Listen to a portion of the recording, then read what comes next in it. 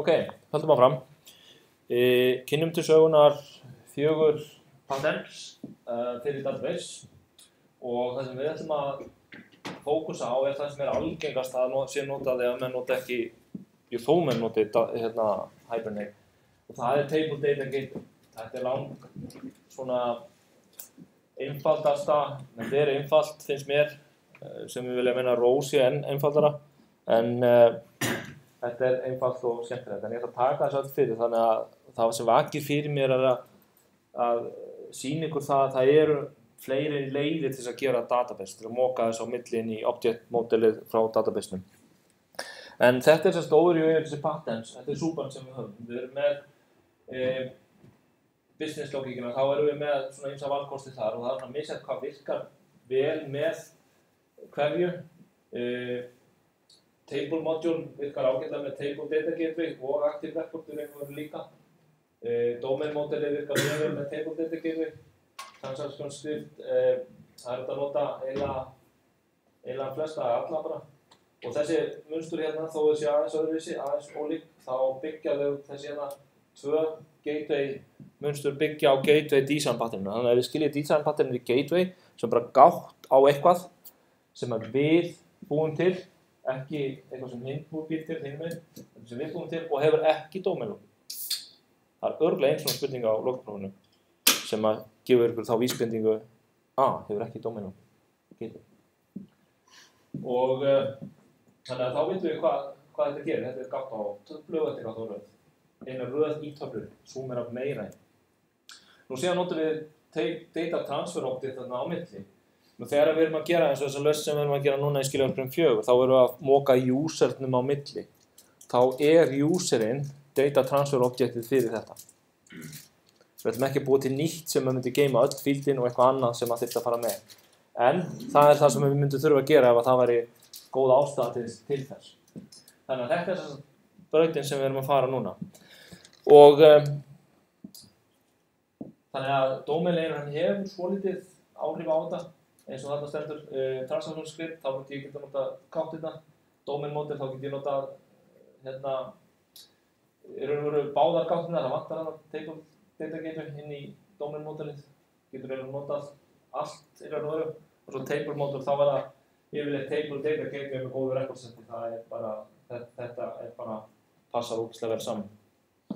Uh, þannig að það eru svona, við þurfum að hafa, fer eftir hvað domainlegir munstur við erum að nota hvaða datalegir munstur við notum og uh, hérna sem stifir lítið verið þetta aftur. En fyrir þá ég bara fara í gegnum þessi, bara vaða hérna í gegnum þetta, kynna þessi fjögur, byrjum á table data gateway.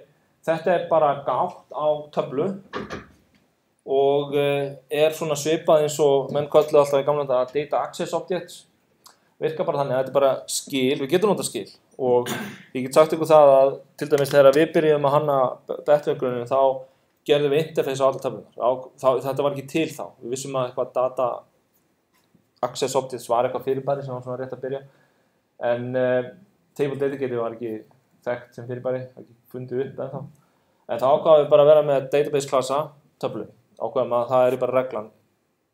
Database klassi hann tala við eina töflu, ekki tvær, hann tala bara við eina. Ef hann þarf að tala við tvær þá þurfum við að setja eitthvað fyrir ofan sem tala við báða klassun okkar, hérna, data klassun okkar og um, byggum bara, bara svona, svona interface.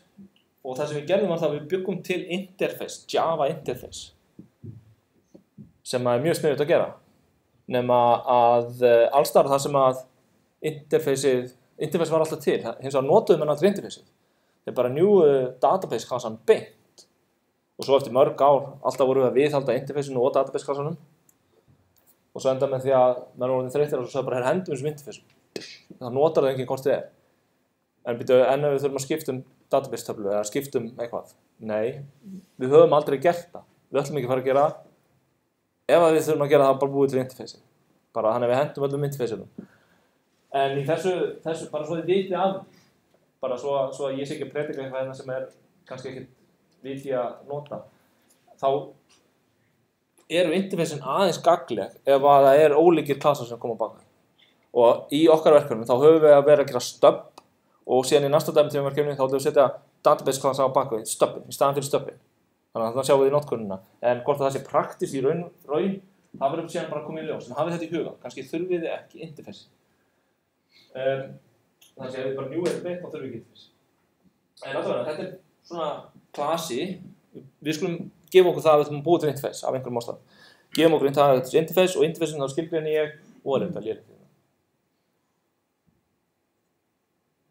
Það er þetta. Allavega, þar eru við með add, fallega create, read, update, delete og allt þetta dót og uh, síðan einhverja fullt af finderum og finderum þeir skila collectionum af uh, record setum. Þannig að ég segi get users eða users, þá myndi ég fá collection af userum, bara user array lista eða record set sem ég get sett yfir í array lista. Þannig að svona verður person gateway, það er eitthvað find sem skila person, myndi taka þá inn ID eða, eða nafn eða eitthvað eitthvað unique find with last name, þá fæ ég collection, það getur verið margir og svo update, insert, delete, þannig að, þannig að föllin heita eitthvað svona. Find og get og update, add og eitthvað svona. Þetta eru svona hugmyndir sem að við höfum, en þetta er bara mjög einfalt.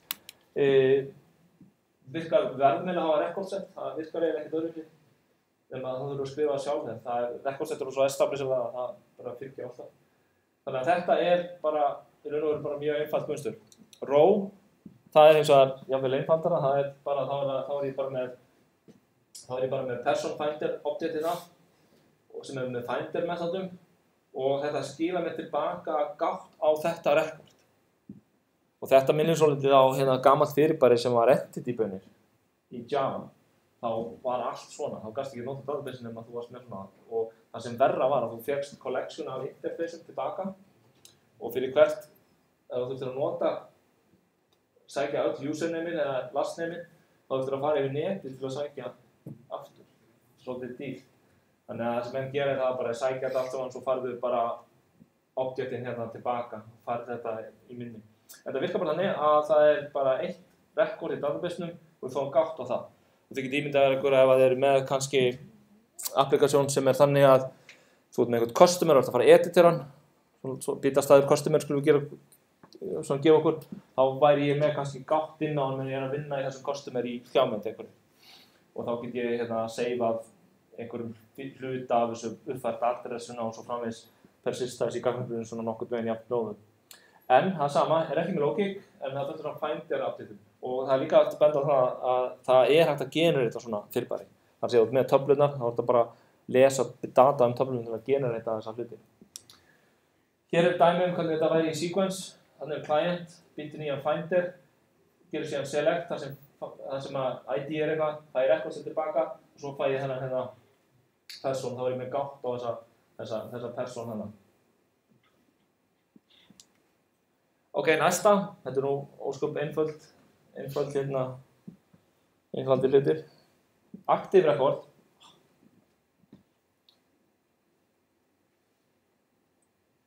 Sko, ég myndi eitthvað svona objekt sem að kann að seifa sjálfan sig. Þegar við örgulega búið svona til. Ég vona að ég fá ekki flóakast eða horfa á þetta. En, en það er allavega að sjá við hérna. Last name, first name, þannig ég býtir svona objekt og kann það að geima sig. Þannig að þetta er database objekt sem ég být til og það kann að inserta sér þá set ég inn í, í objektið ég býtir svona nýtt database objekt populara og svo segi ég insert. Og um, það, það, það er fínt ef, ef lókíkin er ekki of komplex en hún er, það getur verið lókíkana það getur verið dómin, það getur verið einhver lókík í þessum klasa. Þannig að þetta er bara mjög einföld leið til þess að bæta database-kvöldunum við einhver svona objekt og, og auðvitað hafa þetta láta þetta vera í dómeninu en vanlega myndum maður bara búa til svona person database töflu sem eru populærar og svo ertu með allar, svo ertu með bara persistence lókíkina hann inni e, í raun og veru sára einfalt, einfaldur hlutur. Og svo er það mappirinn, mappirinn það, það er hann sem að sér um að, að popular mitt. Þetta er mjög gott að nota datamappira og það er eiginlega það sem að þessir prósessar gera. Þeir eru svona datamappir, eða spá við það. E, Prósessin hann sér um að mappa á milli sækja gögn og setja í database. Hann stýrir, hann er stýriðningi. En allavega hérna er þá bara þessi mappir, hann er, hann er svo sem að keirir, hann stýrir og það er hann sem að setur í databasein eh, býr til þessu objekt, uppfæri domain mótilið og er bara með, eh, er svona á milli hlutana. mappar á milli, hann heitir stýriðning, keirir auðvilt alltaf einhvern veginn og hann sér um þessi föll að inserta og lesa hérna, inserta hérna og svo frá þess. A layer of mappers that moves data between objects and a database for keeping the independence of each other from and the mapper itself. Þannig að sé að þetta sér um að það er enginn sem mókar yfir það þessi sem að stýrir í raun og veru. Og um, síðan eru líka, það er líka að flækja þetta með því að nota identity map og unit of work. Það eru pattern sem ég ætla ekki að fjalla um en ég get aðeins nefnt hérna. E, en já, og þetta er mjög, þetta er mjög hendugt ef þú ert með ef þetta er eitthvað ólíkt, þá getur mappirinn séð um að, að, að nóða til gögnin, þannig að gögnin fara úr einu formi yfir í annað. Og það er mjög þægilegt, eins og allir þessi prósessar er að gera. Við lesum eitthvað hérna, það er dataformat í JSON-dótinu, það er allt annað dataformat í database-num, þannig þarf að forma það á milli. Þannig að mappirinn, prósessin, hann sér um það. Identity map er, uh, já, identity map er þannig að, að uh, þetta er eitthvað svona kass Þannig að ég bý til, ef ég lesa einhverja fæslu, þá geym ég hana. Svo ef einhverju vantar hana, þá tekka ég á því, býtu, er, er ég búinn að sækja þessa fæslu? Já, herri, ég er með hana hérna. Og svona geymir þetta. Og svo unit of work, það er þegar að hérna, eitthvað hefur breyst.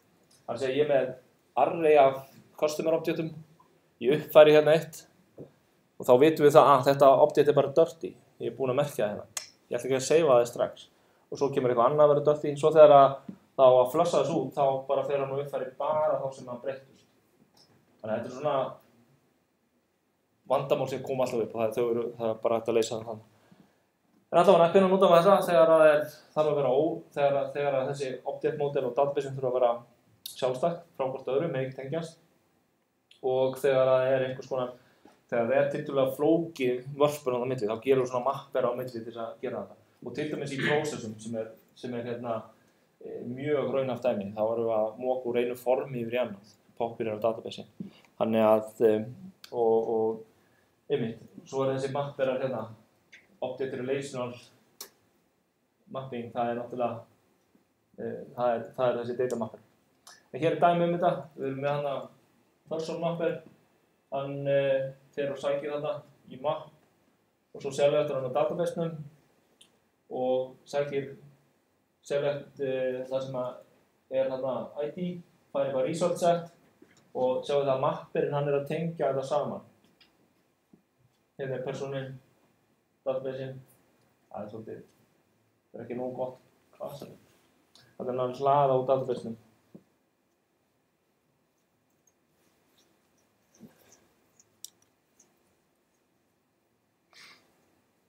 Hérna er að uppfara, það með uh, mappirinn og hann sækir það og setur það síðan í, sækir það sérst í object modelið og setur það síðan í database. Þannig að uh, object modelið hérna, hvað sem þetta hérna er, það er ekki að tala um database beint. Mappirinn sér um að lesa og skrifa. Það er hérna hugmyndafræðið með þessu. Og saman á hinni myndinni. Ok, uh, fjögur munstur, teipildið getur við það sem við ætlum að nota, þá er spurningin. Data source class maps nicely to the rows in the table and contains some useful methods.